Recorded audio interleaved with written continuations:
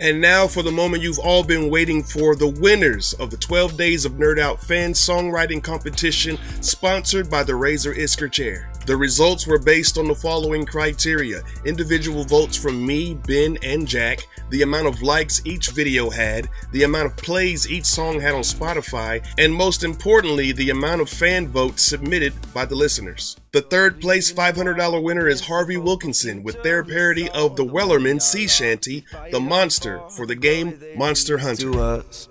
Soon may the monster fall with blade and bullet and bow and song. One day when the dragons are gone, we'll end our hunt and go.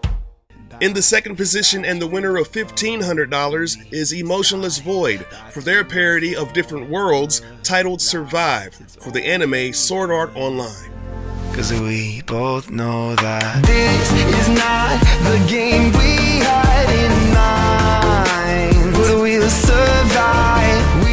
And the winner of the competition in first place and the $3,000 prize goes to Joshua Nightingale for his original song London is Burning for the game Assassin's Creed Syndicate. Can't you see that London is burning? London is burning down. Time for a revolution. Through all the smoke and the flames, we are.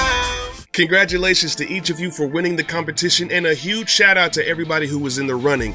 You guys did an amazing job this year with your song submissions. We were blown away by the talent.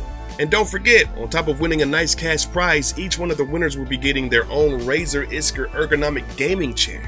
We want to thank everybody who entered the competition, and we also want to thank Razer for sponsoring this year's contest. Do you think you got what it takes to win the competition next year? Who knows? Go ahead and start writing now, and maybe you'll be number one. With that being said, we'll see you guys later. Holla back at your boy. Peace.